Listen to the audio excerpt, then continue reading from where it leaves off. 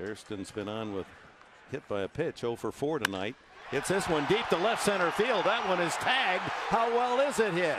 It is gone. Can you believe that? Hairston has repeated his heroics.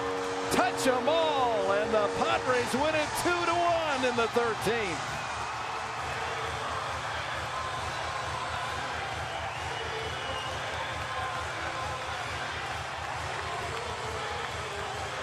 Jerry Hairston does not homer in six weeks.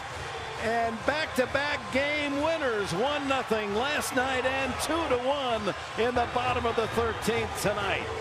Seeking refuge from the pummeling he took at home plate. How about that?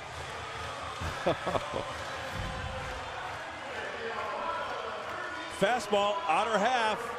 Mitchell Boggs. I'm shocked the ball carried that well. That was yeah. the left center, not straight away. And it just makes it into that first row. As Harris